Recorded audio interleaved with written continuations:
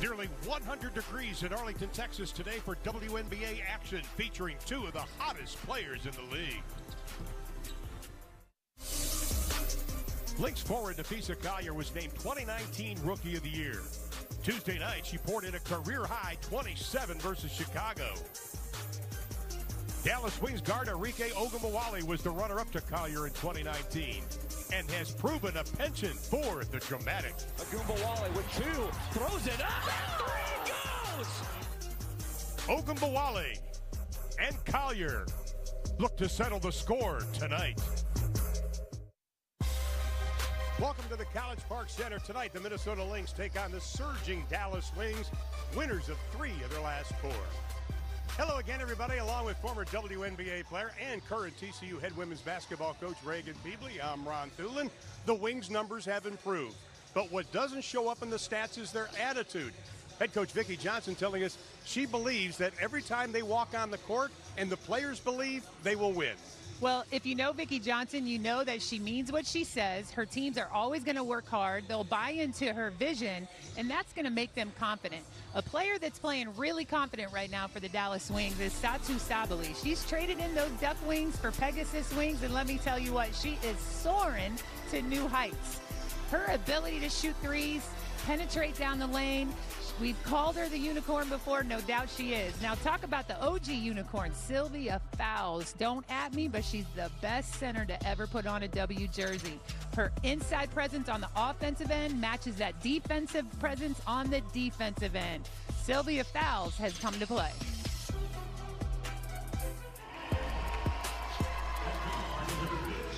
Minnesota Wings looking for their first road victory. Let's take a look at the starting lineups now. Minnesota out of two starters because of injury, including former Dallas Wing Aerial Powers and Natalie Achonwa.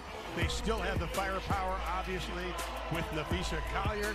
And for the Dallas Wings, look at their starting lineups. And Marina Mabrey, who started six games and averaged over 21 points a game as a starter, has been off the bench the last four games. She moves back into the starting lineup. Allisha Gray comes off the bench, but you know, Marina Mabrey was just outstanding as a starter. She's one of those players that it doesn't matter if I start. I just want to help the team. Yeah, well, I think not only does she perform really well as a starter, but she also helped some of her teammates play pretty well as starters. We know about the Marike connection and how strong that is, and why not start the game off as strong as you can?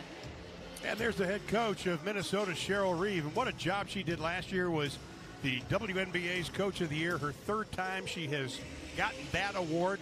Fifth most wins. She's looking for number 250 as far as wins are concerned at Minnesota. And she did an outstanding job last season putting this team together. But she said at the beginning of this year she broke training camp and just didn't have that confidence. Yeah, she knows what it's supposed to feel like, and it didn't feel the way she knows it needs to. And there is Vickie Johnson in her first year as head coach of the Dallas Wings, played in the first ever WNBA game when she was with New York. She has made these players take ownership in everything they do from offense to defense. It's a part of the formula for success is that accountability and ownership. And I think what Vickie Johnson does really well is she's clear with her team on their roles. Our officials tonight, Eric Bruton, Tim Green, and Jenna Renault. And we are set. Wings coming off that five-game, 11-game road trip. Vickie Johnson telling us this week it built a sisterhood and a foundation during that time. That's exactly what you want your practices to do, your training camp. It's going to help you create that chemistry. But chemistry isn't chemistry if it doesn't create the synergy and produces on the floor for you. Outstanding crowd on hand tonight. Minnesota will have the basketball still. Minnesota coming in with a record of 4 and 6. Start of the year 0 and 4. Then got Napheesa Collier back. She had to miss a couple of games because she was overseas. Got her legs back underneath her and started to roll, then lost Tuesday to Chicago. Had problems with turnovers. Inside, Bridget Carleton, former Iowa State Cyclone. Well, to that point, Ron, I think it's something important to remember is this Minnesota Lynx team only has five players that's actually played in all 10 games so right. far. And it's hard to create that chemistry and synergy and, and momentum when you have that kind of turnover. Dallas swings with a record of five and six. All their losses have been by single digits. Shot clock at three. Has to give it up. Jefferson lost it. Carleton comes up with it. Cheryl Reeve has to be happy with that defensive possession to start the game. Carleton can shoot the three. Took one in the face from Satou Sabally. Well, Satou Sabally is sprinting out at a player like Bridget Carleton because Bridget can hit those threes with great efficiency. But the thing you have to be careful of is she's also, and I think more potent when she puts the ball on the floor. Sounds like you played against her. Uh, maybe a few times. Three on the way, nothing but the bottom of the net for, for Kayla McBride. 57% of her shots are from beyond the arc. You can't leave her alone.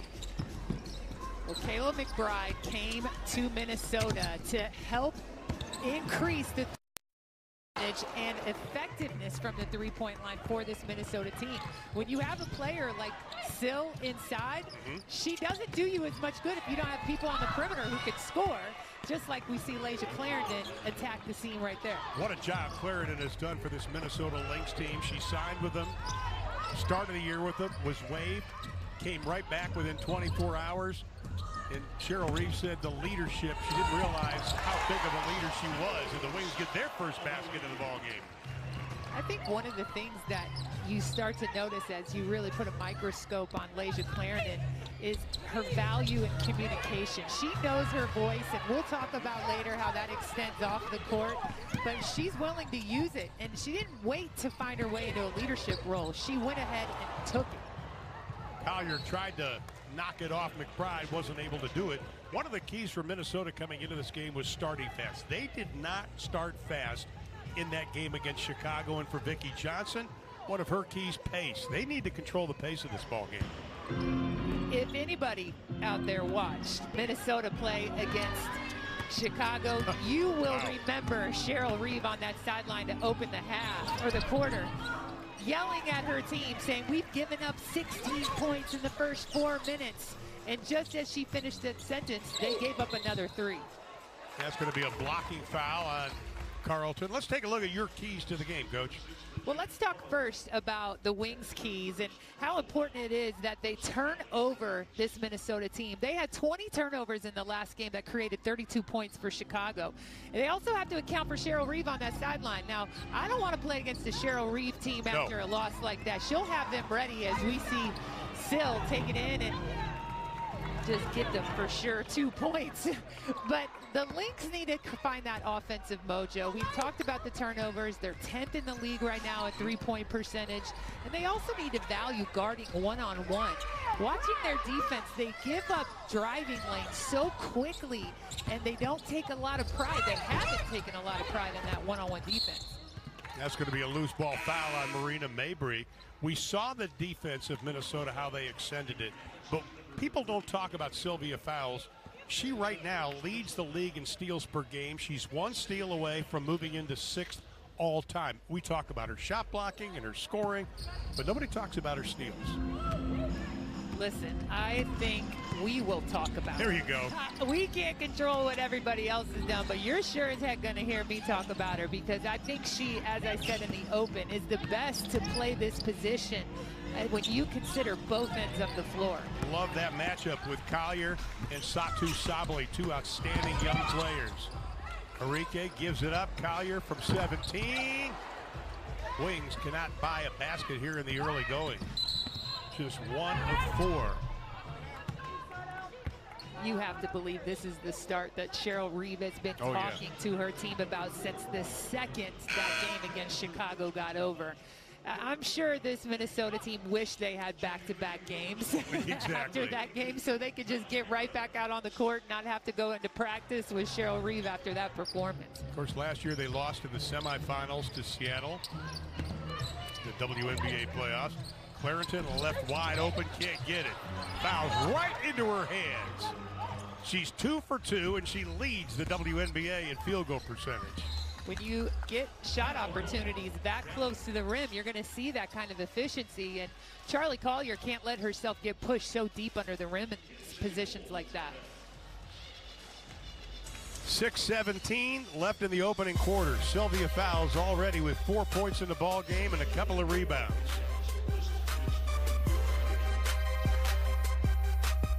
Did five of their ten shots. They lead by nine. Of course, Juneteenth will be this Saturday. The Wings will be honoring that, but the celebration started tonight. Players opting to wear Black Lives Matter shirts.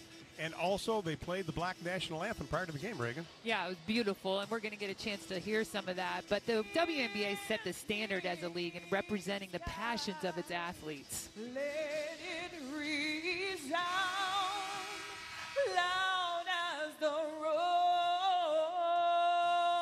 rolling sea.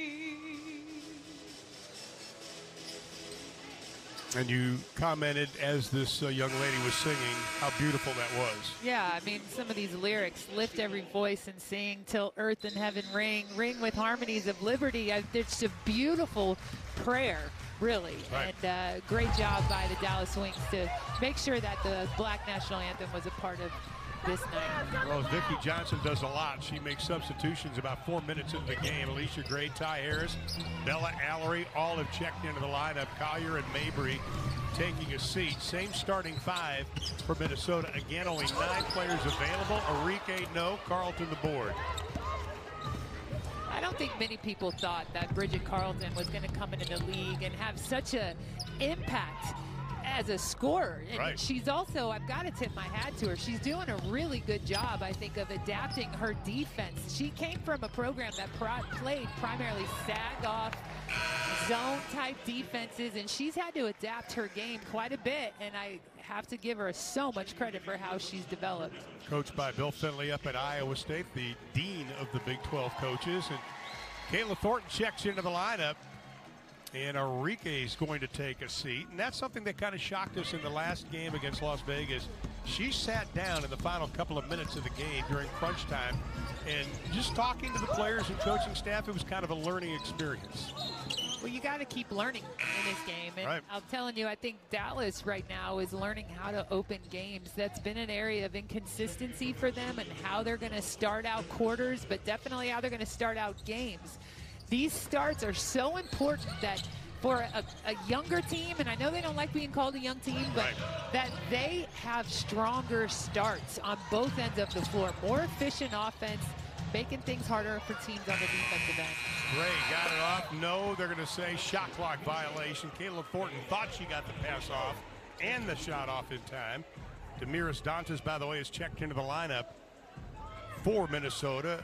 She is the big time three point threat. 56% of her shots from beyond the arc. I love to watch Damiris Oh, I do too. Dantas play. She's one of those players that I think just continues to show the evolution of the game as we see KT with the big steal and the finish. That's how Dallas needs to play. They are so good, nearly unstoppable when they can get these high turnovers into the open court.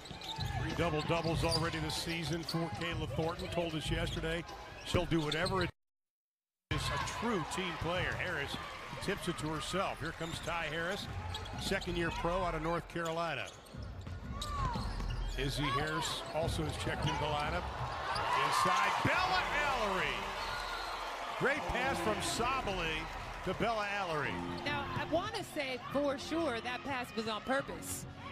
I couldn't tell if it was something that just kind of bobbled out of her hands and into the hands of Bella Alarie or if it was just that special. Let's count on it being that special because that's what Satou Sabally is. And that makes it a 13 to 6 lead by Minnesota. They are shooting 43%, the Wings at 38% here in the early going. The bench has been so productive for the Wings this season. It's something that they rely on. They want to get their 30 points off the bench. This is a team that can go 12 deep. Shot clock at three. Ty Harris offensive foul. So that. Now again, Dallas is a team that is really trying to work on an identity of defense, and they like to get out onto the wings and deny reversals. When you do that, you break up teams' flow. They can't get into some of their additional screening action, and it really manipulates the offense. And so, great job by KT buying into that element of their defense. And Crystal Dangerfield is checked into the lineup. Number two, the second year pro out of UConn, rookie of the year last season. Now coming off the bench.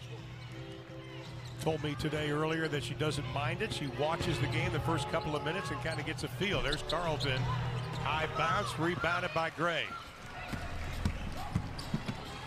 Gray pushing, floating. That's what Allisha Gray does. She draws the contact with a lot of aggressiveness. Allisha Gray's first game of the season this year was at LA, and the majority of her points came off of the defense into transition. In situations like these, she has space. She can get to her strong hand. Defense is in a situation where they're having to make quick decisions. That's when Allisha Gray is at her best. And there's been a little bit of controversy right. about her minutes. She didn't play a consistent minutes. And, and Vickie Johnson said, look, she's trying to find her way after playing so much three on three basketball. Exactly. And again, I, have heard all the controversies about it, but honestly, I think what Vickie Johnson was trying to do is take some pressure off Allisha Gray that she has to come in and produce right away. Is he here? Sorry, giving her time to be able to adjust. I agree. Uh, nine minutes and 46 seconds she played against Las Vegas. But she also has been struggling with her shot. Rachel Banham can't get it to go. And that is something Allisha Gray has got to grow in, her consistency. Exactly. In her time in the WNBA, she's been so productive, but she's got to grow in that consistency and just her catch and shoot game. Thornton out front. A lot of pressure. Gray was seven to shoot. Gray from the corner buries the two. It's a great look for Allisha Gray. It's off of a closeout read. She found a little escape dribble into an empty pocket. Nice uncontested shot. Those are going to be her highest percentage. You know, you talk to Allisha Gray, she holds herself to a higher standard than anybody. Bella Alarie. How about Brittney Griner, Liz Cambage, now Sylvia Fowles, the last three opponents she had to go up against. And again from the outside. Ty Harris knocking it down, and the Wings pull within one. This is the depth that you talked about, Ron, the depth of Dallas. This is a team that has relied heavily upon it, and in their best games, in their wins, their bench outproduces their opponent's bench by twice the numbers. For the last five games, the Dallas bench has scored at least 30 points. They average on the year 26.3. Dallas on a 10 2 run. Here's this play here for Dallas, where again, just quick ball movement, reading defense, reading that little gap. Allisha Gray, just the one little dribble into that elbow area, collapsed the defender, and wide open three. Want to take a quick look at the upcoming national TV schedule for the WCBS SN. Coming up next, after this game, we'll have the New York Liberty and the Las Vegas Aces get underway at 10 o'clock Eastern Time. And then CBS Sports Network tomorrow night, Phoenix Mercury at the Sparks. And that'll tip off at 10.30 Eastern Time.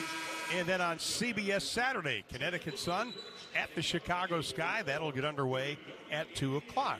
And we have a second. Want to wish our best to Curt Miller. Uh, had to leave the team for some health reasons for a family member. And you were on Curt's staff with Curt on staff at Colorado State. Curt, we wish you the very best, my friend. Absolutely, and he's a he's a family man. His family, oh, his yeah. parents are everything to Curt. We're thinking you, thinking of you, and keeping our prayers uh, headed your way. Brandi Poole taking over as the interim head coach tonight, and they're still in the first quarter with Chicago and Connecticut trailing 10 to 9 in that game. We'll keep you posted on all the WNBA scores throughout the evening. And here is Dangerfield. Now listen, Dallas right now, their starters only have two points, while their bench have the remaining of their points as we see Dallas finish that defensive possession with a foul on McBride. Er, but here's the thing about Dallas. Marike, they make up for 42% of the team's field goal Wow. attempts. And they make 30% of those. They're not the most efficient between the two of them. So these additional scores really have to show up consistently as efficient scores for Dallas. And we see that out of Asatu. I think Allisha Gray can get there. And obviously, KT, I think, is one of those players, as well as Izzy, that needs to show up every game for this team being efficient. At the line, McBride, number one in the WNBA in free throw percentage. Before you start tweeting, we mispronounced a name. That's our name for Marina Mabrey and Arike Ogunbowale. Marike. Marike, that's Marike. right. It, it's catching on. I, Yeah.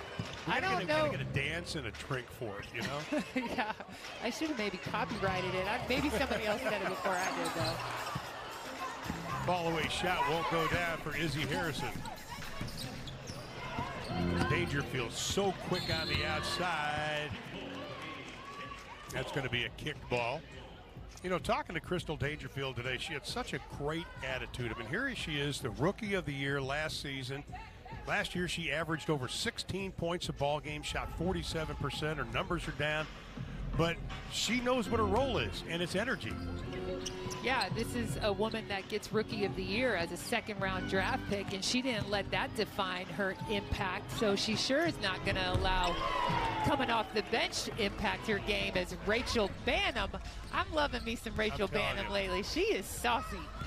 Coming into this game, the last four contests, she was 11 of 13 from three. Izzy Harrison, and the foul is going to be called, probably on Sylvia Fowles. You know, I, that always amazes me. I know it has to frustrate you as a coach at TCU, but you have a player, 62%, like Rachel Banham, shots from beyond the arc, but yet you give her a lot of space. Has to drive you crazy. It's yeah, but you got to understand too. How did she get that space? What created it for her? And again, good off-ball movement, good penetration into the paint. And I think when you have a player on the floor like Sylvia Fowles on the interior, Dantas who sh- can shoot the three, McBride, you have to make some cho- tough choices. So obviously, they decided to leave Banham open.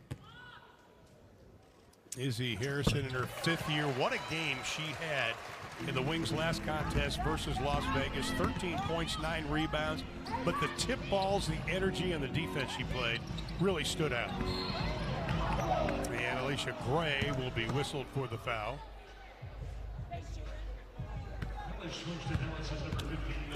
Since both of these teams are in the West, this is a Commissioner's Cup game tonight. And of course, everybody wants to win those games. Well, big reason why is $500,000 is up for grabs in those games. And the West Cup standings look like this. Storm just keep on rolling. 5 and 0. Aces at 3 and 1. You see the Wings and the Lynx behind them. Boy, Seattle is just smoking. They are, and they, they're. There's two spaces I think right now that are pretty secure, clear, and it's the top and the bottom right now. Seattle at the top, and then Indiana Fever, unfortunately, at the bottom. Ty Harris again. What a spark off the bench. Halftime, we are going to introduce you a little bit deeper into Ty Harris, who Vickie Johnson told her at the beginning of the season, You're too relaxed for me. Yeah, she said, I need to see a little bit more juice out of you and intensity. And it's not that she's not good. She just needed to embrace the role she has as a point guard. Dantas from outside into the hands of Kayla Thornton. Up ahead, nice pass. Izzy Harrison can't finish it out. Gray gets it. Leans into it, can't get it. Tipped by Harrison. Fowles comes down with it. Those are frustrating plays for Oh. teams because everyone in the arena saw Izzy open. I think KT was the last one to see her open. Found a way to get it to her, though. That'll be a shot clock violation, or I should say the end of the quarter. Tried to get the shot up before Cheryl Reeve coaching her team up. But the Dallas Wings were down early in this ball game, trailing by as many as nine. But at the end of the first, they're only down by four.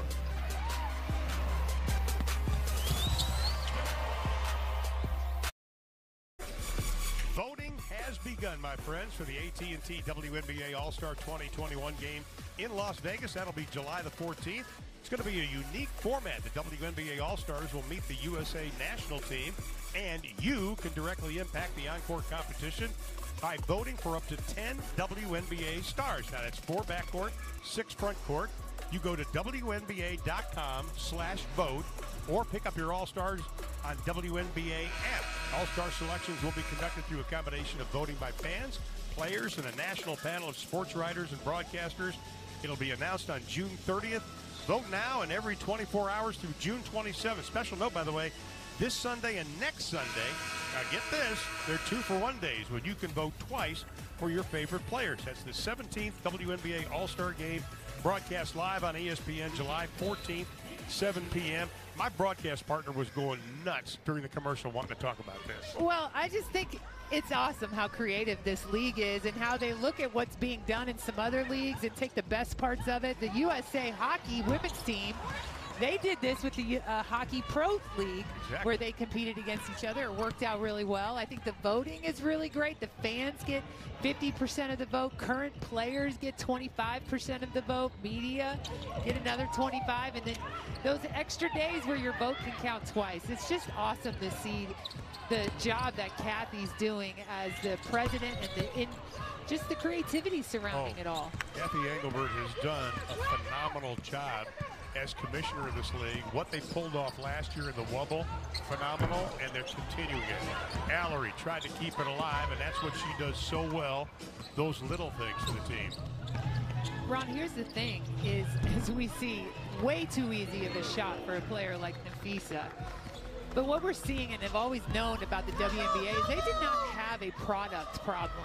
They had a marketing problem. And I just think Cathy Engelbert has done a great job of solving that problem in collaboration with the players. I agree. By the way, that's Collier's first basket. Started out 0 for 4. Mabrey looking for her first one. Can't get it to go into the hands of Layshia Clarendon, ninth year pro out of Cal.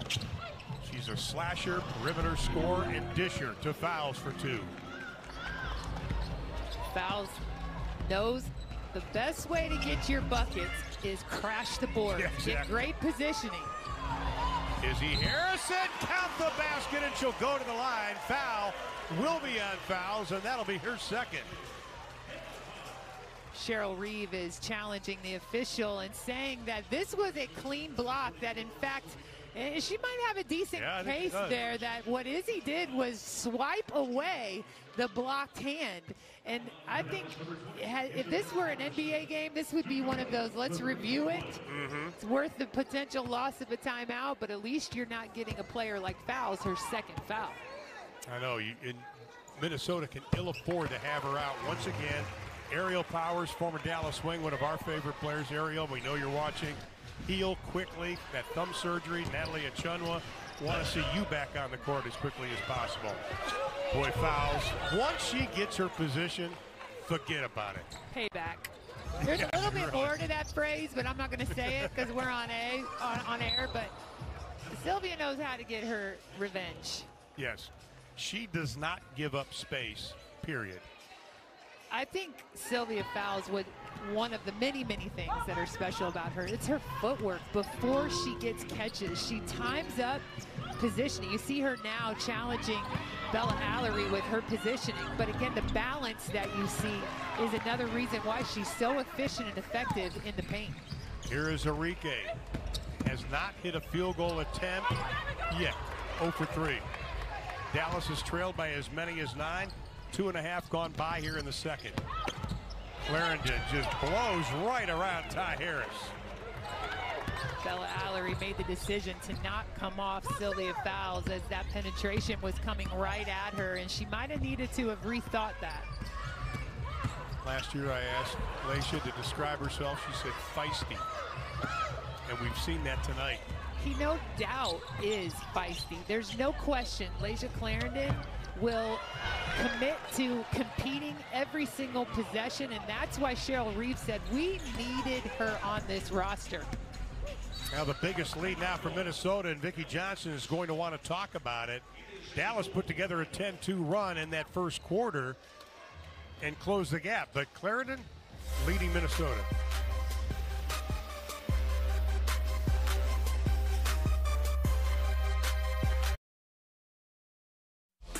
Minnesota on a 10-2 run or 10-3 run here in quarter number two. That's why they've opened up the 11-point lead, partly because of the play of this young lady.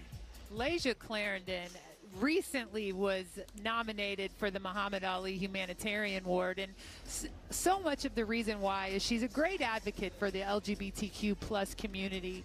It identifies as trans, non-binary. She and his wife are very open about how they're raising their child to be able to choose and define itself however it chooses. She's also been very vocal and open about the top surgery he went through recently, and I just am so thankful for the courage, the bravery, and the example that Layshia Clarendon is for all people. Well, in celebration of LGBTQ plus pride presented by Deloitte, the WNBA will collaborate with GLSEN and Fanatics on an exclusive line of Pride apparel, including Fanatics branded WNBA t-shirts. All proceeds will benefit GLSEN. Fans can purchase the shirts at WNBAstore.nba.com. On the drive, can't get it. Rebound Thornton. Quick outlet up ahead to Sabally.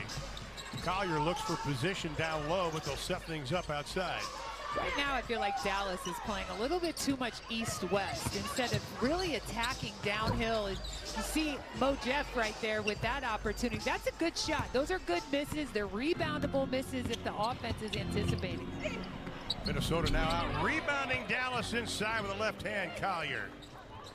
Those empty possessions for Dallas, whether it's turnovers, missed shots, are leading the easy buckets for a team like Minnesota. And Minnesota has proven this season to struggle guarding in the, or scoring in the half court. Bridget Carleton couldn't stop. Gray did. Gray hits.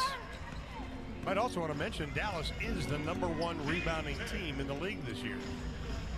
That is something that Greg Bibb, the president general manager, said they were going to address. They did, and it's come to fruition. Outside, Kayla McBride dropping the three see how quick Minnesota is getting their shots off. They're not wasting much time at all. Even if it's off of a Dallas make, they're pushing it up the court, finding quick early buckets. Thornton knocks down the three.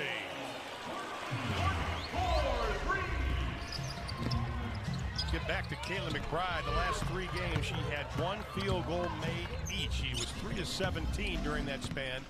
She's two of three so far tonight. Both baskets made from beyond the arc. Whistle and a foul on the drive by Satou Sabally.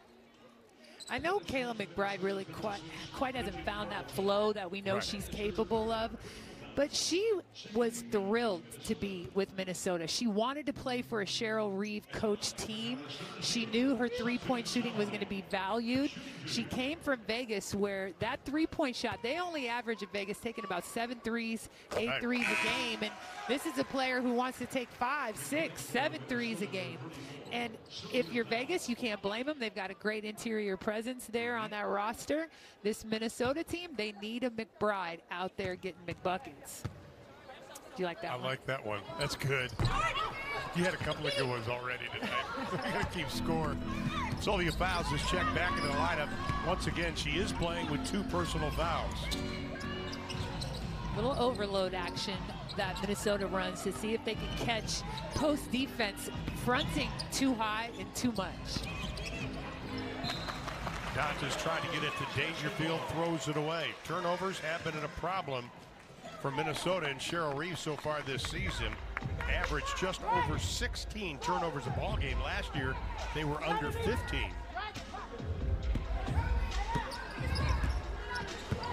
This is a good problem that Dallas has a lot of people in the arena. But I really do enjoy hearing Cheryl Reeve yell at her team as much as I enjoy seeing Mo Jeff get that easy inside out three. Bryant Jefferson, her first field goal of the ball game. The floater. Oh, that's a pretty shot by Kayla McBride out of Notre Dame.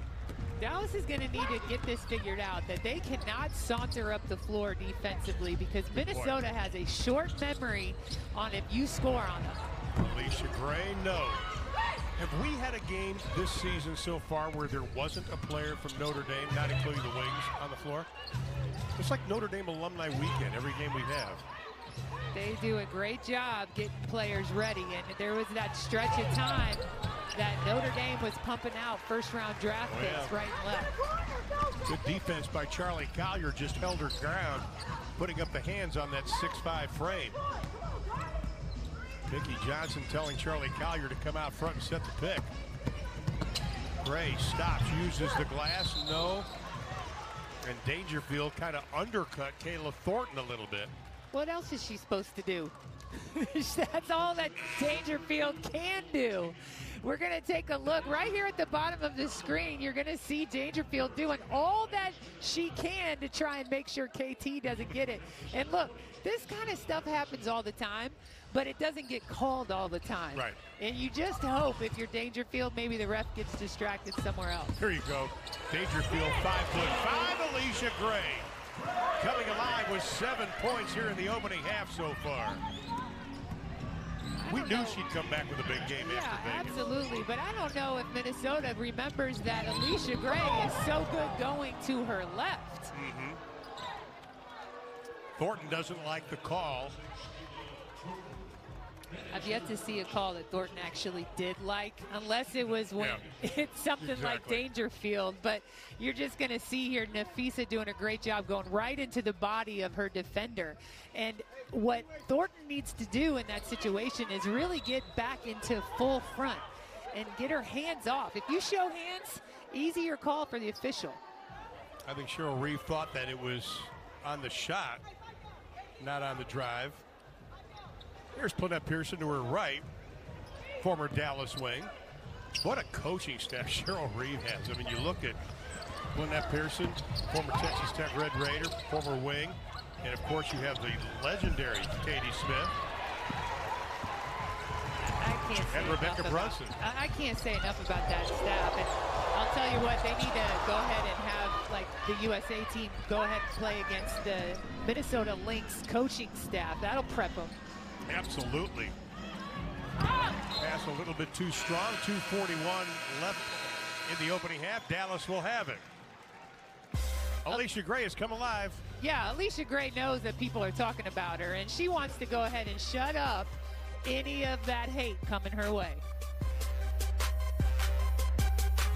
Just her few minutes of play so far is already lighting up the scoreboard for the Minnesota Lynx. And she keeps it easy. She doesn't try to complicate things. She's an assist maker, a basket maker.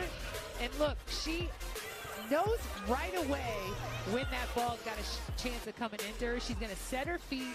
She's going to position her defense. She's got eyes in the back of her head, knowing exactly where she's at. Her court sense is phenomenal. She really took over this team when they started out 0-4. Much better start here in the first half than the first quarter against Chicago the other night. Yeah, against Chicago, they gave up 39 points in the first quarter, and right now 37 with just two minutes to go in the half. Majority of Dallas scoring from their bench. Sabally, no. Satou, one of two starters with only one field goal made. Moriah Jefferson, the other. They've got 24 of their 30 points have come from the Wings bench. That's just been a consistency for Dallas is that Vickie Johnson's shown that she's willing to use her bench. She does it early, she does it often, and she's consistent with it. So I know she's changed her starting lineup. I think this was her seventh lineup that Right. she's had so far in the season. But what players are going to know, if I come out of the starting lineup and go to the bench, I'm still going to have an opportunity to produce. Stay ready. Ty Harris is going to come in, and Vic- Vickie Johnson's philosophy is, while you're in there that four, five, or six minutes, I want you to play till you're almost dead tired, and then you come out and get a break, almost like a hockey uh, change. I would say almost like Vickie Johnson when she played. Well, she, she That's never wanted to exactly yeah. That's exactly how Vickie Johnson played, and whether she was in a New York Liberty uniform or a San Antonio Stars uniform, she was competing when her number was called. Biggest lead was 14. It is now down to five. Make it seven. Collier, nice shot. The Dallas Wings post defenders have got to do a better job of not allowing such deep touches for these post players for Minnesota. Final two minutes here in the opening quar- or opening uh, half. Izzy Harrison can't finish. Second time she's had a point blank shot. Couldn't end up at the bottom of the basket. Thornton was looking for the pick. She goes underneath it, switches with Fowles. Now Sabally picks up Fowles. Great communication on these switches and rotations out of Dallas. Clarendon, no. Offensive rebound, Fowles, rolls it over the front of the rim. That is one of Wow. the potential consequences of that kind of switching off the ball is that players that end up on a player like Fowles can almost forget how much you have to lock in on her. You forget almost who you're guarding specifically. You just know you're kind of guarding a space. And you're going to have to box Sylvia Fowles out and really be proactive with it. Kayla Thornton picking up her second personal foul. I want to remind you, coming up at halftime, Raegan and I are going to take a look at the early uh, leading candidates for WNBA MVP. We've got some pretty good thoughts on that. Plus, we'll get to know Wings point guard Ty Harris. And we will break down the first 20 minutes of play with color pictures and numbers. You brought your set of crayons to the game? Uh, I stole it from my grandson, Jack. Poor Jack. 60 seconds left in the second. Clarendon likes that little pump fake, and she gets it to go. Clarendon with a half a dozen. it's just the consistency that he brings every single time down the, the down the floor. The ability to make good decisions in the paint is something that point guards have got to have. And Clarendon, without question, earns her paycheck there. They're saying it's off the leg of Kayla Thornton. Now the officials come over and they change the call. They knew it was off Sylvia Fowles. Watch it again. There, he hits her right off her foot. Little soccer action right there.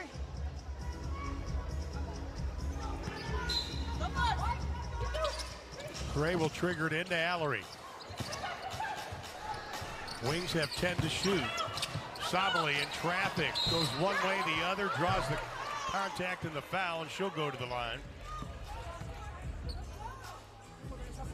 I love this matchup that we get to see, and I know sometimes the switching we don't get it every possession, Right. but Napheesa Collier against Satou Sabally, that is a dream matchup right there, and we might get a chance to see that in July, not in WNBA uniforms, but in USA uniforms. But it, they're just very similar type of players that are going to continue to impact this league in big, huge ways. And Marina Mabrey, who started the game after coming off the bench the previous four, checks back into the lineup. Kayla Thornton is going to have to take a seat. She's got two fouls, and you don't want her in foul trouble.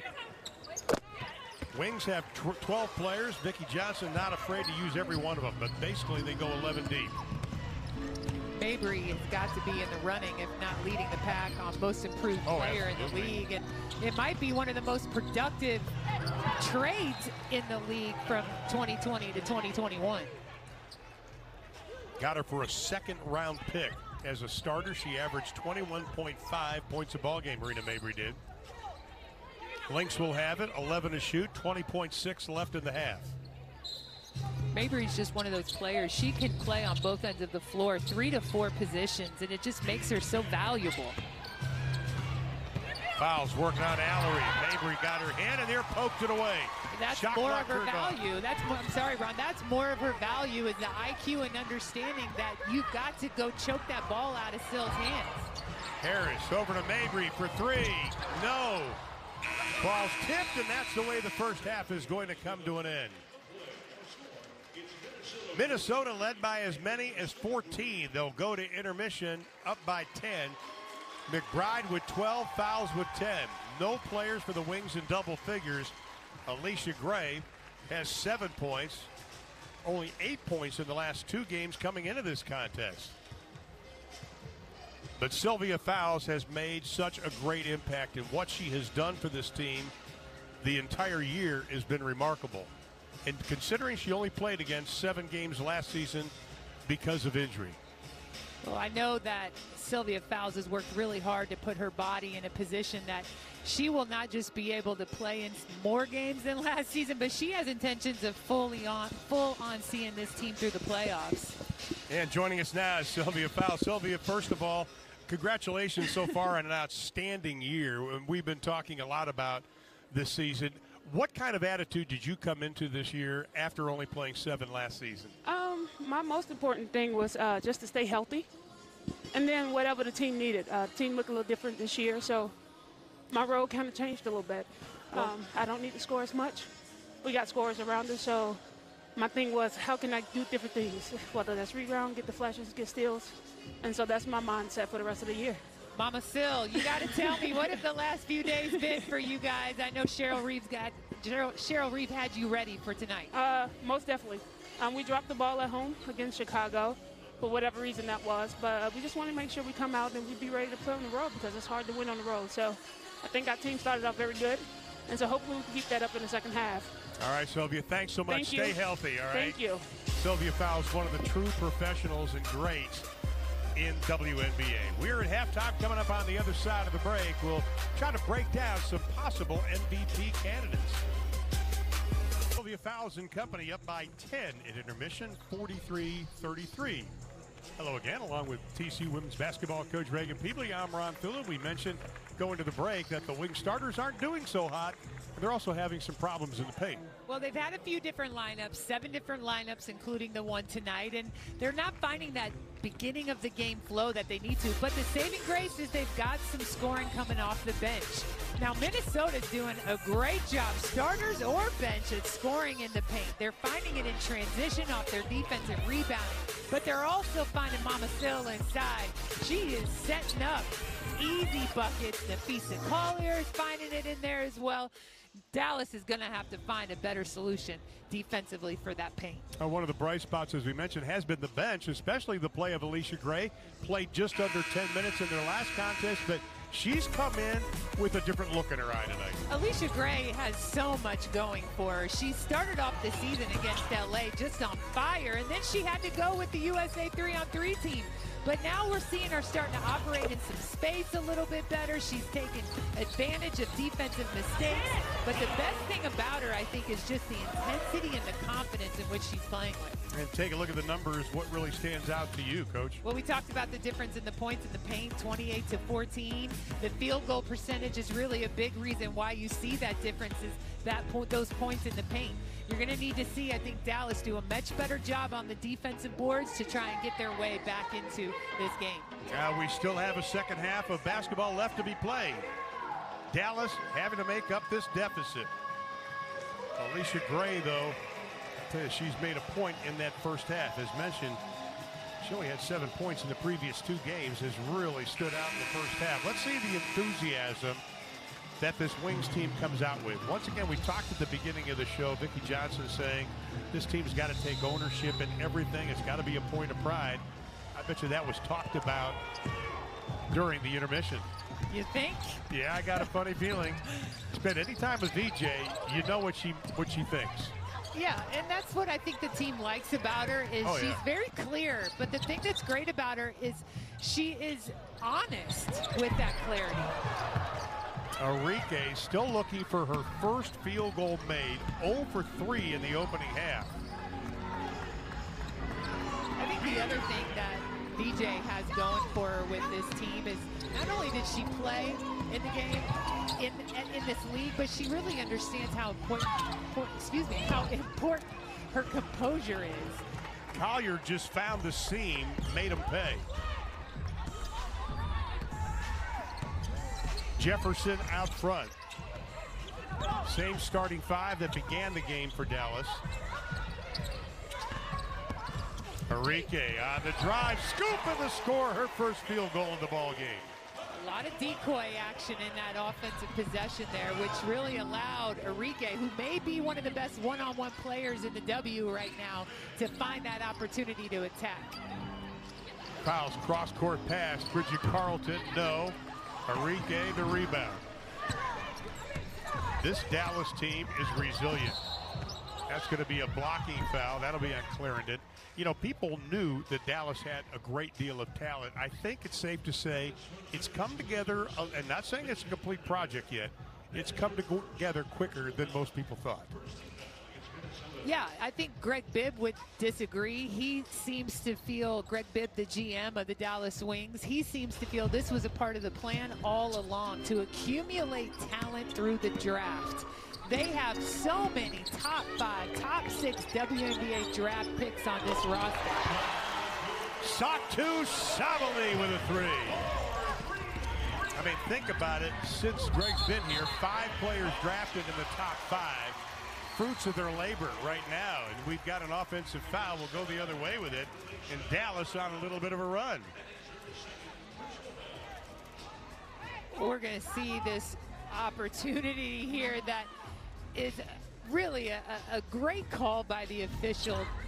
Layshia Clarendon's coming off of that ball screen, and the defender was moving and active as that screen came and hit her. Easy call for the official. Clarendon it now with two personal fouls. Mabrey out front. Step back over Napheesa Collier. No loose ball foul.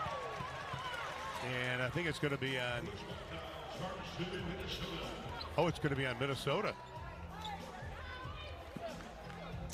Sylvia does not look like a happy camper right now. I, I don't see it. I don't understand it. I think they're calling it on Clarendon. It is. It'll be uh, on Clarendon. And that'll be her third personal foul. So Carleton and Clarendon both with three for Minnesota. I think we were all looking at Sylvia Fowles. Arike. Oh, my! Okay, Arike.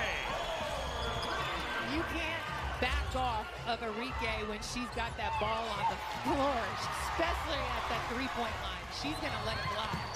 Arike on the drive. Count it! Timeout, Minnesota.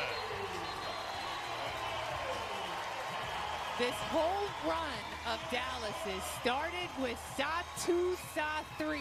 She hit that three, and it just ignited the offense for the Dallas Wings, and it helped them play on that defensive end and create momentum like this attack down the lane.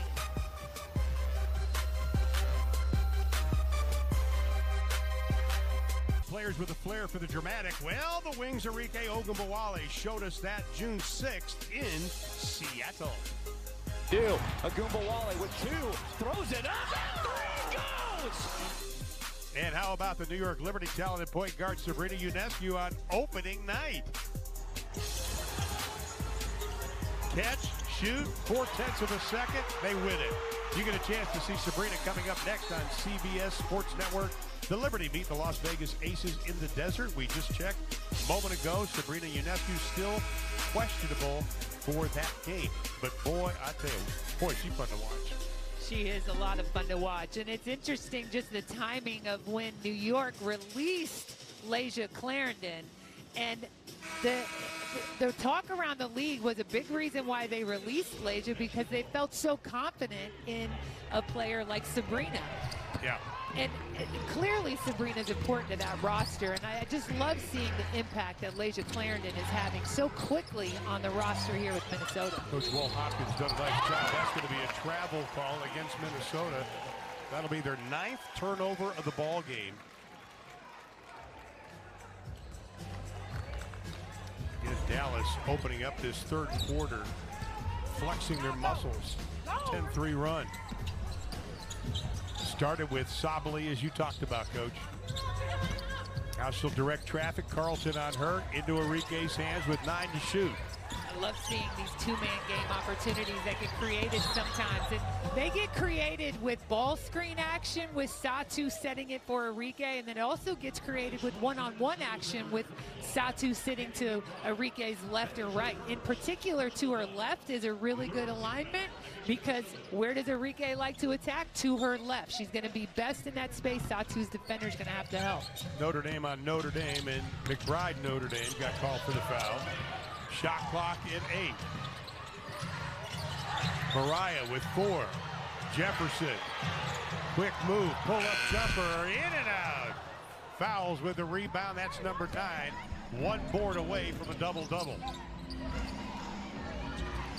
Minnesota missing an opportunity to find Napheesa as the rim runner, but they're going to find Sylvia Fowles in that paint. Three defenders get engaged with Minnesota as they penetrate into that paint, but they haven't found the confidence from the three-point line to exploit it. There's the unicorn, gives it up. Arike, 4-3! Arike with 10 in the third quarter. So this is what I'm talking about, those two-man games. And when you can find possessions where you've got Arike with on her left is Satou, on her right is Mabrey, or now, or maybe you have Satou penetrating, and on her left is Arike and Mabrey on the right. That is some big-time pressure on the defense to decide how they're Right. going to attack into those spaces. Foul was on Moriah Jefferson. There's the foul again. Arike four for four shooting so far here in quarter number three. Clarendon way short. Wings with their first lead of the ball game at 46-45. Look, I think that foul that we just saw out of Dallas is one of those high IQ fouls. It stopped any kind of momentum situation and forced Minnesota to have to play in the half court, which led to that air ball. Wings much more aggressive defensively, really kicked things off at the beginning of the third. Offensively, more in sync. Now they were looking for Charli Collier to cut down the paint. Rachel Banham, no. Collier pulls it down. She is going to be tied up.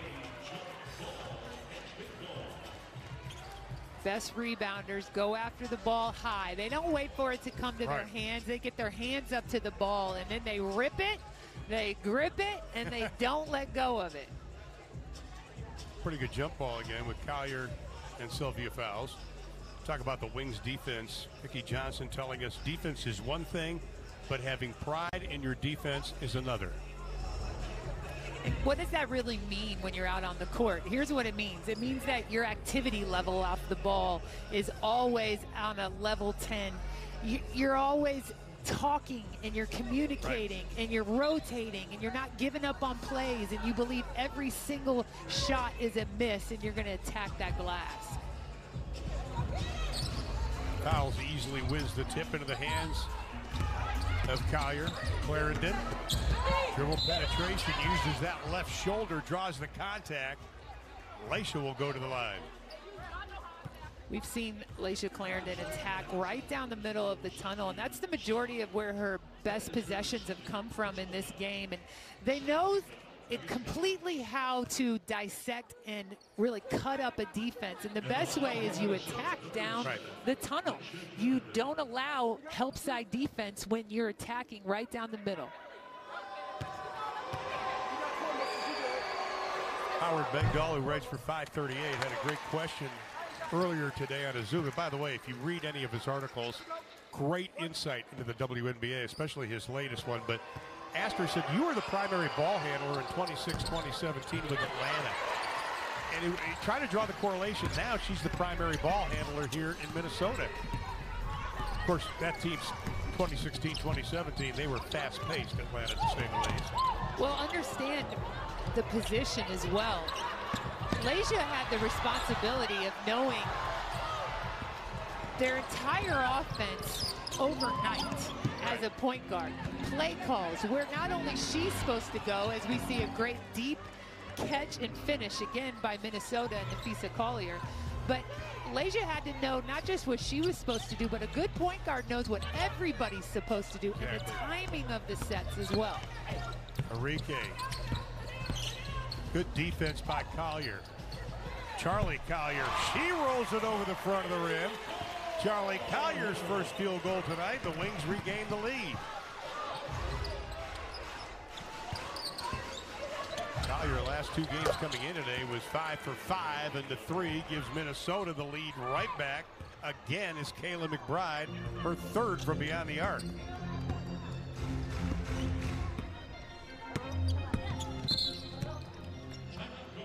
And a timeout's going to be called by the Dallas Wings, and that's a defensive adjustment by Coach Vickie Johnson. Now she's saying she wants a full timeout as Minnesota takes the two-point advantage.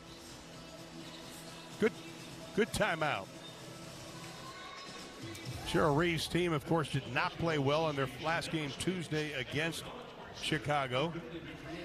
Ron, we're going to take a look at this. It's a great pass, but here's the issue. You got to have three layers of vision with that ball. You got to know not just what's going on at that first layer defensively, but who's waiting at the rim. Right. So even if she had caught that ball, what was she going to do with it when you got one of the best interior defenders to ever play in the WNBA waiting on it?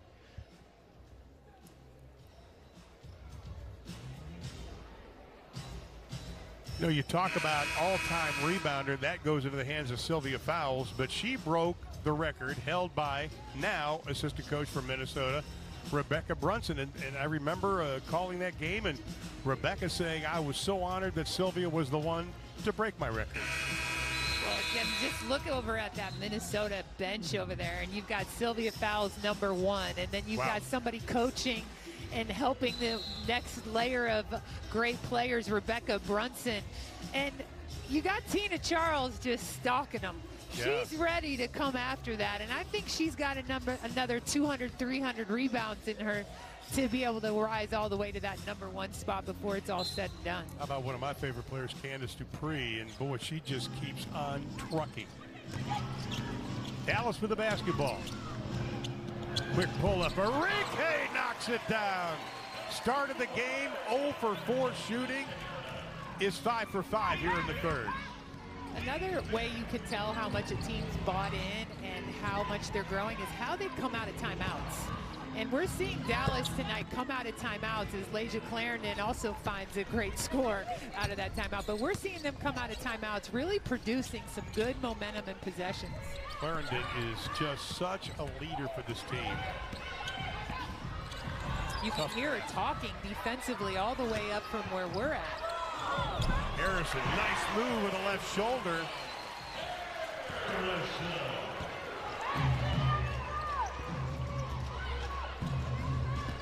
And we are tied at 52. Boy, Arike, she was not going to allow Banham to get any kind of an open look. I'd say that was disrupting and contesting the pass. Yeah, I'd say so. People talk a lot about contesting shots. You got to contest passes. There's going to be way more passes than there are shots. So when you do that well, you're going to become really disruptive defensively. Layshia Clarendon going to take a seat. Vickie Johnson saying what's impressed her about Arike, her dedication to defense this year. From the outside, Dangerfield for three. Last two games coming into tonight, she was four of seven from beyond the arc. She's one of one so far tonight. Mallory needs some help. Gray fouls picture up. Gray step back pulled, didn't get it. Alarie, no. Foul's going to be called, and Bella will go to the line. We continue to see Dangerfield kind of get caught on the backside, having to box out a lot. And a lot of that's due to some of the switching protocols that they're doing defensively in their game plan. And nice job by Bella Alarie taking advantage of just that little pocket of space and getting that second chance opportunity. Of course, her father, Mark Alarie, played for Duke and also in the NBA. Last year, after graduating from Princeton, she had to finish up her thesis, and it was about Broadway shows in the 20s. I went, okay. well, I'm going to brag a little bit about you know, there's not a lot of people that can say a father and a daughter played in the WNBA. And we have one of those on our coaching staff at TCU, Abi Olajuwon, whose right. father Hakeem Olajuwon played. And I'll tell you, that's a unique upbringing that is truly special for those women. And I think we're going to continue to see more and more of that as there's these men that are have completely bought into the league and want their daughters playing and being a part of it. Arike thought she had it.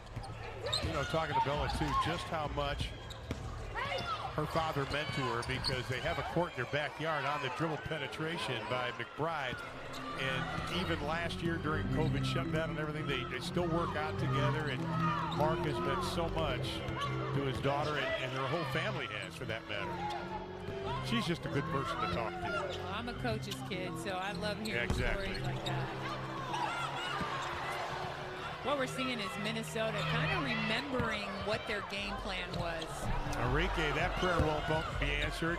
Gets her own rebound, rifles it back out. Shot clock reset to 15. Gray can't finish it out. These Great finishes- effort, though. Yeah, these finishes that they're not finding. We see Minnesota and Kayla McBride find her finish, and she gave us the and one, appropriately called out. But what Minnesota's doing right now is going back to their game plan. They're pressuring. They're making Dallas speed up, and that's making Dallas miss some easy bunnies. That's getting Minnesota out to the open court and pushing that ball up. They're scoring in the first four or five seconds of the shot clock. Right. Dallas isn't able to get their defense set. When Minnesota has to play in the half court, we see turnovers go up. We see the congestion around Syl Fowles, and that's not going to lead to victories for Minnesota. McBride having a whale of a game. That's her 20th point so far tonight.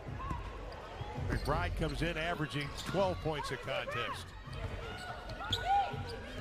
As mentioned, last three games, she was just three of 17. She's six of eight so far this evening.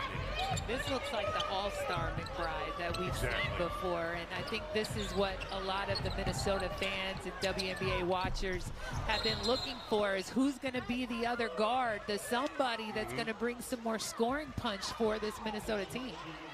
Rachel Banham doesn't like the call. Satou Sabally kind of came flying out of the pack. Watch the right side of your screen on this replay. It's physical, physical. Little chicken wing there. yeah, I love it. I kind of wish those weren't fouls, honestly. Like, you've got to have a physical presence. What else are you going to do in that situation? And you can see the entire bench arguing with the officials over there. And I, Yeah. I, if I were that official, I'd kind of look down that sideline and say, oh, there's a championship there, and there's a championship there, and an MVP there, and leading rebounder there. I think I'm going to reverse my call. exactly. Cheryl Reeve doing an outstanding job of her substitution pattern again. Only nine players available for her. You got to keep them fresh because this is a physical game. That'll hit off the leg of Dangerfield. Wings will have it. 14 to shoot. 64 seconds left to play in the third. And here's the thing about Cheryl Reeve. She doesn't lose her stuff over a play like that because it's a hustle play. And she knows that kind of tempo and hustle is what they lacked against Chicago. They're going to get way more good out of plays like that in the course of a basketball game than they will back. Shot clock at four. Tough shot. Harris, no. Harrison knocked it into the hands of Dangerfield with 45 to play here in the third. Dallas outscoring Minnesota 22-17 here in the third stanza. Dangerfield wide open. Thornton, nice job boxing out. Seven second difference shot of the game clock.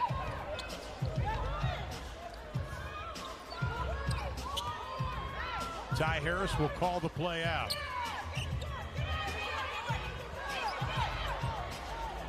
Gray over Fowles, can't get the three to go. Minnesota with the last opportunity to score here in the third. Rachel Banham, no. Ball tip, trying to keep alive, not going to do it. Third quarter is in the books. The Wings trail by 13 at intermission. They've been able to cut that down. We'll head to the fourth and final stanza. Minnesota leading Dallas by five.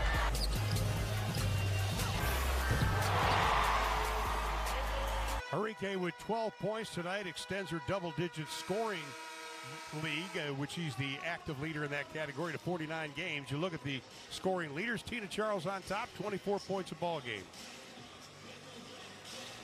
And when you talk about rebounding leaders, Jonquel Jones on top, Brittney Griner, and there's Sylvia Fowles down at number five. We can see absolutely that Jonquel Jones is finding her way in nearly every category at the top. And you got to believe that she, as we talked about earlier on, that she's going to be, if not the leader in the MVP votes, one of the top. Well, Aldemiris Dantas got loose, got it, by the way. Kayla McBride, new season high in points. Checking in with 20. It was 19 coming into tonight. Thornton tries to go baseline. Good defense.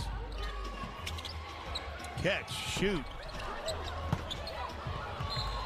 Izzy Harrison fights for it. Last touch by five foot five Crystal Dangerfield.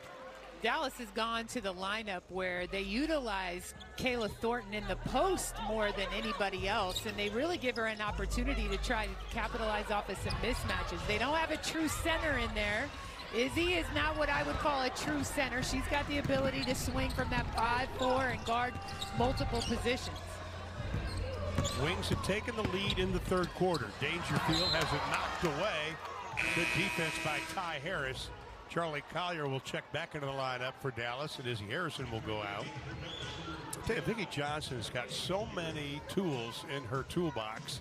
It's just mixing and matching and finding that right combination. You got to love that as a coach. And again, that's what Greg Bibb talked about, that he really right. tried to tried to build on this team as Banham builds her stat sheet with another three.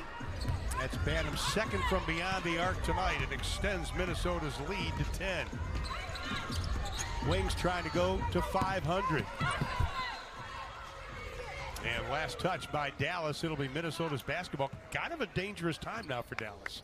It is, and I, am noticing how active the bench for Minnesota is. The coaches, the players are standing up, and we've got to talk about the benches for a second, right. and not just in the productivity, but the alignment of the benches. This is evidence of things changing a little bit as Napheesa Collier gets again right at the rim. But with the players are now lined up, sitting right next to each other, there's right. not all that space in between, and that creates a chemistry and a synergy. And you got to believe Minnesota loves that coming out of kind of a rough start. They want to build that energy amongst each other. Uh, the scoop can't get it to go. Rebound pulled down by Dantas. Quickly up ahead, Gray with a pick.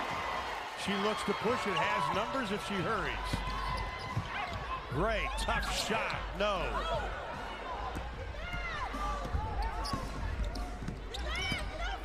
A lot of people say that's a bad shot, but Allisha Gray has a tendency of making those. And Damiris Dantas with the three. Her first from beyond the arc tonight.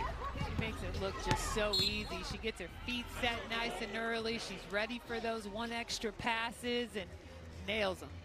Minnesota on a 10-0 run. Seven minutes and 48 seconds left to play in the ball game.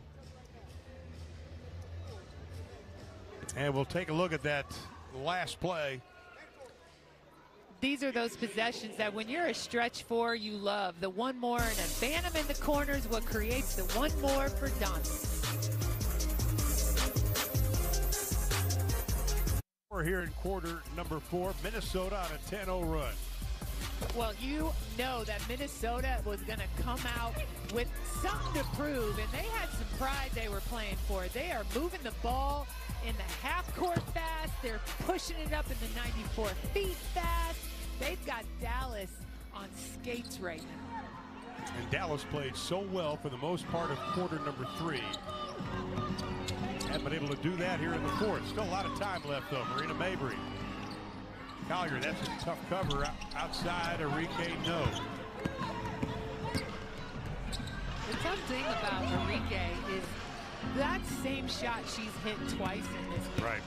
And there's times when they just don't fall, but it's one of her best shots. Jefferson on Dangerfield, scooping the score. Arike is one of those players that, again, when she can find a rhythm where she can kind of get that crossover and that mm-hmm. bounce, it doesn't matter how much of a contest is there. She's got the rhythm, and there's a good chance it's going in. Boy, Collier was using the arm to try to fend off the defense of Marina Mabrey. But good defense by Moriah Jefferson a play ago as the Wings look to try to break into this lead the last seven minutes of the game, they're going to need a lot more defensive stops like this. They're going to need to get out into passing lanes, make Phoenix, or Phoenix, sorry, make, make the Lynx feel a lot more pressure and rushed in an uncomfortable way. Hey, we'll give props to Phoenix. Monty Williams doing an incredible job. Oh, no kidding. Former, former neighbor in San Antonio. One of the great guys in basketball. Arike. No, and she is fouled on the play. Cheryl Reeve is coaching a storm up tonight. She doesn't like losing. No. And Cheryl Reeve is not a loser. She is mad at her defense right now that they didn't rotate over soon enough. You got to know that Arike has the ball.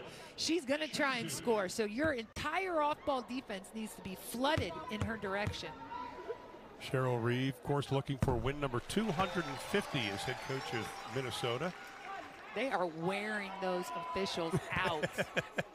She's got her whole she like-minded staff right Yeah. there. Like every time there's a bad call, all four of those women are up and ready to let them hear it. I love it. I'm here for it. I just like Tim Green getting that little smile on his face during that last moment there as he was listening in. Well, he knows them. He's not taking it personally. He gets that, that Cheryl's got to get this team playing with more fire and energy and pride. And sometimes as a coach, you got to manufacture that with your body language and your own energy. Marina Mabrey, pull-up jumper, still struggling shooting the basketball tonight now, 0 for 7. Got to start after coming off the bench the last four. These tiny point guards out there as we see Mo Jeff try to guard Napheesa in the paint. Good cover up by Kayla Thornton on Collier. Shot clock at five. Catch, shoot, throw, loose ball foul. And I think it's going to be a Charli Collier. And it will be, and Bella Alarie will check back into the lineup for Dallas. How do you think, tell me how you think about the rotation where Dallas has these young, talented, long, versatile post players and should they go with one and ride with them or do you like the fact that Vickie Johnson's out there getting them both opportunities to grow and investing in their future?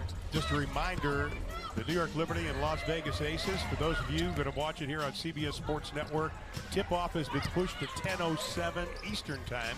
Again, push the tip to 10.07, and we'll get you to that game just as soon as this one ends. Arike, no. Bella Alarie, nice job. Arike has missed her last four shots. Kayla Thornton stops the scoring drought. That was a pretty possession. The ball didn't stay in anyone's hand more than a second. It was quick, click, click, click. Nice passing, and Minnesota didn't know what hit them. Thornton getting very physical with Collier. Shot clock at eight. Clarendon. Dangerfield over Jefferson.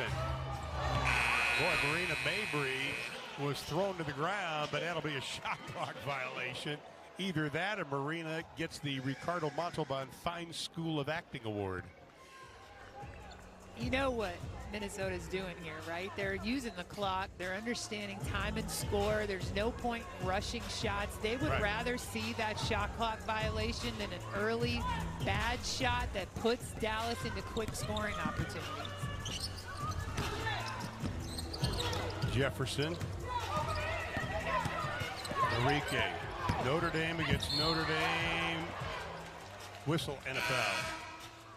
Boy, McBride was going to make it very difficult for Arike to go around her. Arike's got answers to that answer, though. She's Yeah. a hard problem to solve for a lot of teams when you're going one on one. But one of the things I think a lot of teams are starting to do is go ahead and let Arike go off. But they're going to try and make sure other people don't go off because they know that the way she scores for the most part is one on one. And we see just the hard fall that she gets. And it takes her a minute to get up, but she's going to be all right. 10 on the shot clock. Jefferson. Oh, what a rejection by Collier.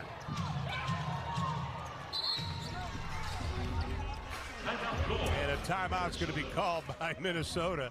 I'm not sure if Cheryl wanted to call that timeout. Now she's saying she wants a 20. And Bella Alarie going to be slow to get up.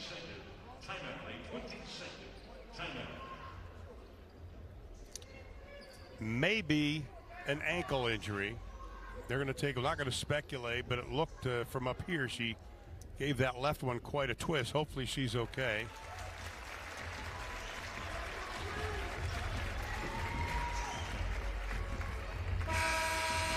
And she's walking out under her own power, and that's a good sign.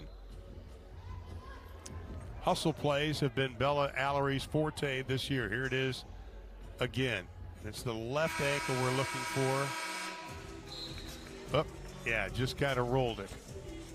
There is no just kind of. I know. You either do it or you don't. When you've done it once, that you just I can't even watch him. I have my monitor covered up with my my papers. I can't stand seeing it. If you sprained your ankle, I know you're feeling me right now. Yeah. Don't want to see someone do it. I understand why we show them. Yeah, yeah. Again, makes good TV, but man, Five years together. I have never seen you look at an ankle. I can't. I, I would throw up up? right here. and that doesn't make good TV. no, that doesn't. 429 to play in the ball game. Wings find themselves down by 14. They trail by as many as 16. Their biggest lead was one. That came in the third quarter. Good ball movement. Minnesota with nine to shoot. Clarendon sees a little cap rejected. Izzy Harrison swats it away. Arike on the penetration. Counted. Will that sparkle? That's great basketball. You needed more of that as you were opening the fourth quarter. That kind of activity off the ball and just finding a way to stop plays. You see this here, Izzy. She understood the timing that was going to be necessary. When Yeah. you're a long player like that, trying to change the shot of a smaller player, the key is is block it after it leaves their hands. Don't try to come down and block it while Good it's point. in their hands. That's too easy of a foul call for an official. Foul was on Arike. That was her first foul inside of four to play. Fowles, great penetration deep, lost the handle. She walked with it, will go the other way with 3.48 left. It was going to be a travel or a three-second call. She set Yeah. the ball screen, rolled, posted, got the high-low seal, put the ball on the floor. She was in there too long. It was going to have to be something. Can the Wings take advantage? Ogunbowale, Jefferson, Gray, Thornton, and Harrison on the floor. McBride's been doing all that she can to try to avoid Arike getting the ball. And honestly, that's the best way you can defend Arike one-on-one is off the ball, empty out, prevent her from getting her touches, and don't let her get her touches towed up to that three-point line. She's got to get it out near logo, half-court logo space to have some luck of keeping it out of uh, her scoring range. McBride with three personal fouls, both teams with three team fouls. Gray, tough shot over Fowles. Foul swipes at it into the hands of Clarendon. As McBride trailing lost it. Here comes Dallas looking to push it again. That's kind of on Clarendon's defense. Oh, my. To do told him that people were coming. That's a wolf call. And Arike lost it right into the hands of McBride. Knew she would have the breakaway, so she grabbed him. Now the officials are going to talk about it. They're going to look at the replay.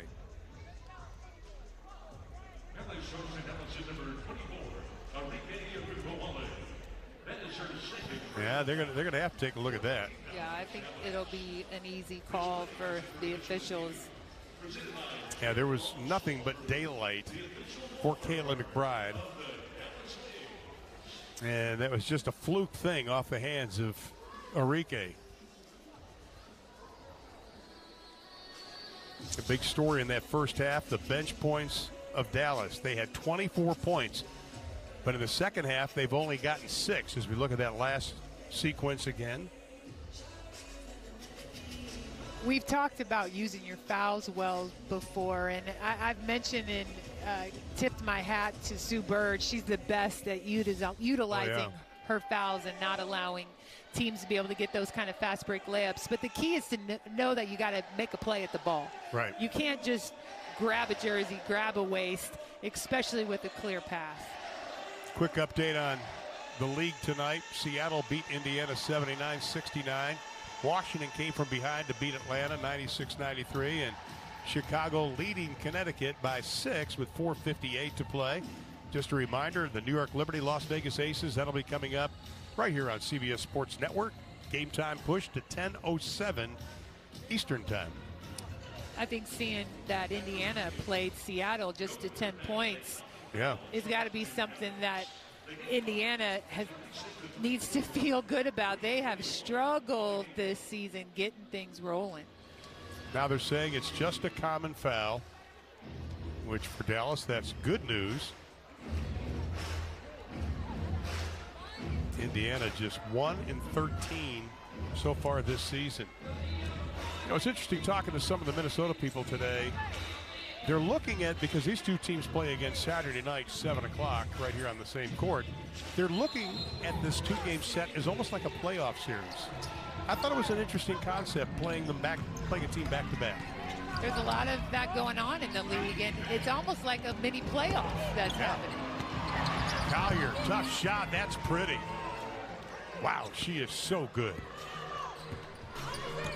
Started every game of her career, the second year pro out of UConn.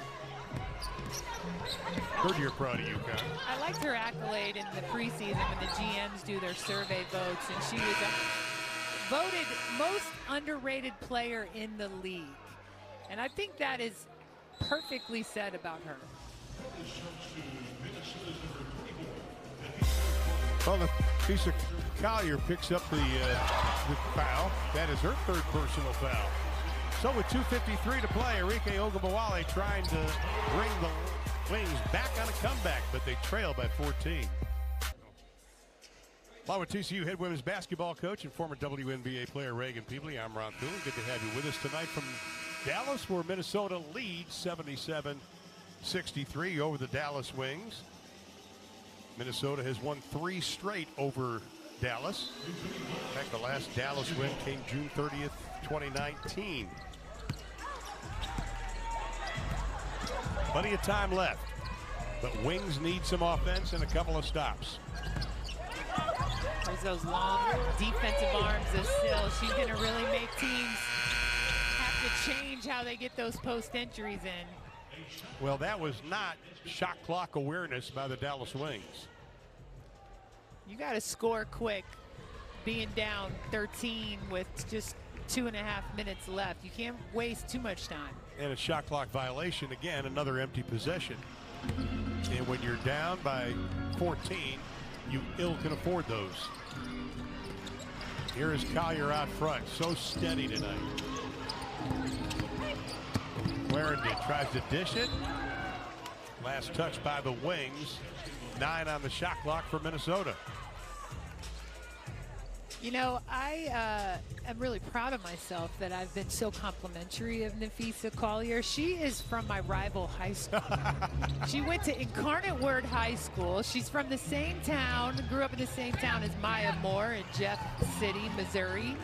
And uh, I was a visitation vet back in the day. A She- what? A visitation V bet. Don't ask what it is. I'm not going to ask. It is. That was our mascot, and uh, we had some big time battles with Incarnate Word. Oh, that's funny.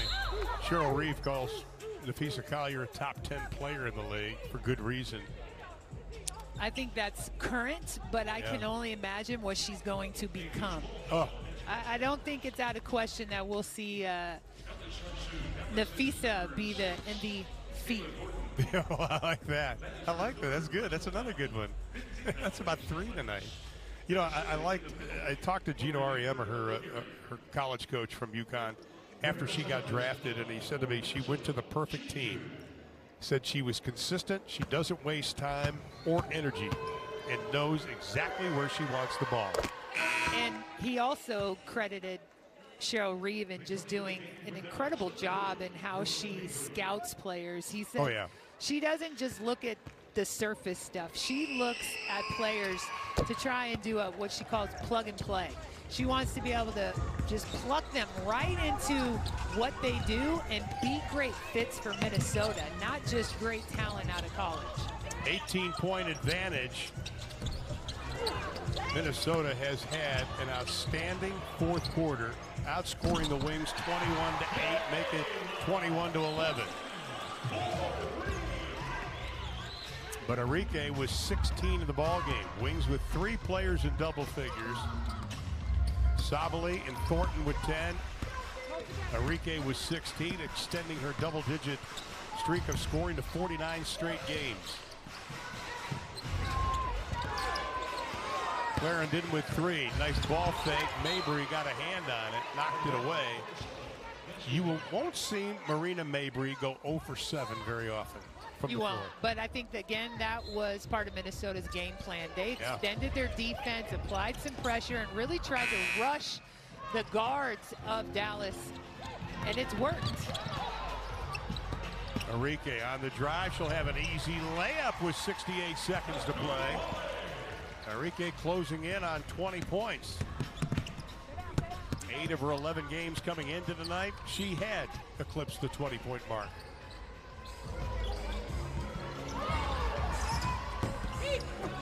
McBride, no. Again, these two teams meet 7 o'clock on Saturday. Counted for Allisha Gray. Not quitting. You got to hand them that. No, they won't quit. Vickie Johnson won't let them quit, and she's going to keep imploring that they play some defense and get out and run. It's important in games like this that play teams know how you finish is a lot of times how you go into that next practice or that next game.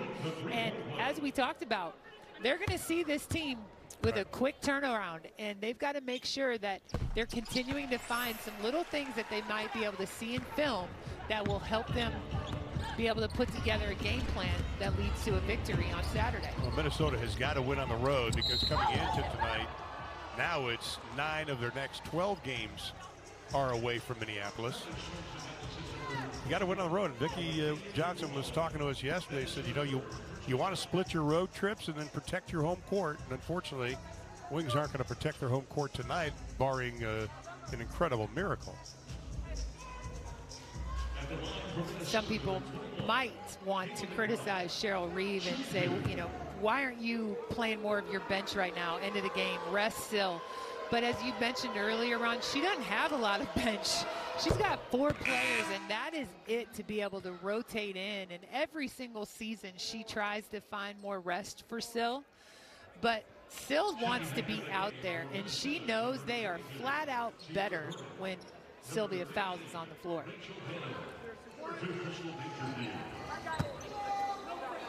And Cierra Burdick's checked into the lineup number 22. Had her first practice yesterday, signed on June 15th because of the injuries. Don't forget Las Vegas coming up against the New York Liberty. That'll be coming up. Tip off will be 10.07 Eastern Time, and in 29.9 seconds, we'll get it over to her. Arike rolls it over the front of the rim, and she's got 20.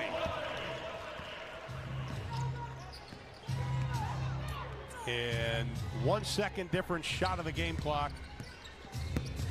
McBride, a new season high, 22 points tonight. Collier with 19 points, 8 rebounds. Sylvia Fowles 14 and 12. And a whistle and a foul. And it's like, really? Yeah, really. Yeah. It's just unnecessary, and I think that's the competitiveness, though, that is Yeah. coming out. And Allisha Gray's not thinking that this is the last nine seconds of the game. She's thinking, I'm going to try to make sure I make a play Yeah. right here. And you, you'd much rather have to deal with that than the opposite. I want to give kudos to Sylvia Fowles. This is her 170th double double, number one in the WNBA. That's an incredible feat. Yeah, say that again for everyone in the 170 back row. double doubles. Wow. She's underrated. It, it, it undervalued and underappreciated, not by the fans and the Right. Minnesota organization, but I think just in general, she is one of the best. That's going to do it. 85-73 is going to be the final. Minnesota defeating the Dallas Wings. Wings and Lynx will play again Saturday night, 7 p.m. on Bally Sports Southwest. So for Raegan Pebley and our entire crew, I'm Ron Thulin saying so long from Arlington. We're coming up next. We'll take our CBS Sports Network viewers to Las Vegas as the Aces host the New York Liberty.